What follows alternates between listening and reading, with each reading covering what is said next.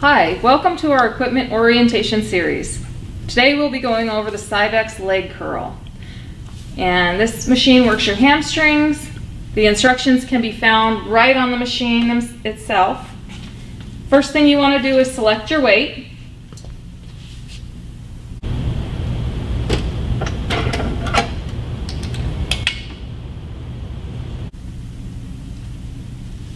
Have a seat. And once seated, adjust the back pad so the knees align with the axis of rotation indicator.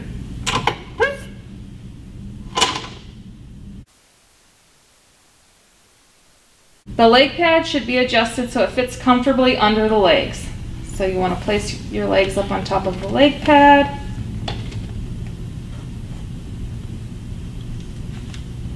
Then you want to adjust the thigh pad so it rests gently on the thighs.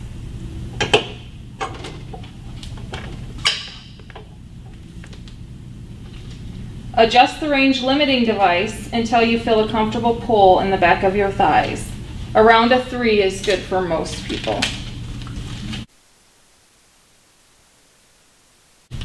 Then grasp the handles and push down on the leg pad until you reach full range of motion. And then return to the starting position.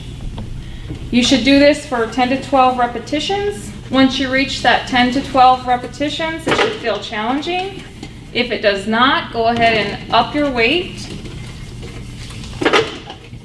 And once you reach 10 to 12 repetitions, exit the machine by releasing the thigh pad.